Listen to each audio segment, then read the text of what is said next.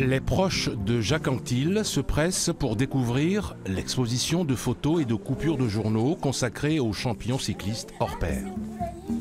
Là, c'est Poulidor, non? Non. Il est où Poulidor La petite fille du coureur normand n'a pas connu son grand-père. L'adolescente regarde l'expo avec fascination. Ça fait bizarre que je voie euh, tous ces gens qui l'aimaient autant et que alors que moi je l'ai jamais connu. Enfin, je sais pas vraiment quoi dire. Je pense que c'était quelqu'un de très gentil. Enfin, après, je sais pas trop euh, comment il était. Mais j'aurais bien aimé le connaître.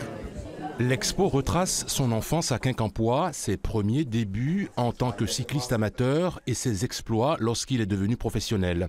Jacques Anquetil a remporté cinq fois de suite le Tour de France entre 1957 et 1964. Pour lui, c'était pas une, c'était pas une corvée, c'était un plaisir. Pour se défatiguer, il s'entraînait. Comment il était? Très méthodique, très timide. Raymond Poulidor était l'adversaire de cette période et l'éternel second à chaque course. Tout de suite, ça, ça a été le, le Anctil Poulidor. On a divisé la France en deux. Et puis dès ma deuxième année professionnelle, été champion de France, de, de- chez lui pratiquement, à Rouen-les-Essarts. Et là, c'est parti, Milan-San Remo, et après le Tour de France 64.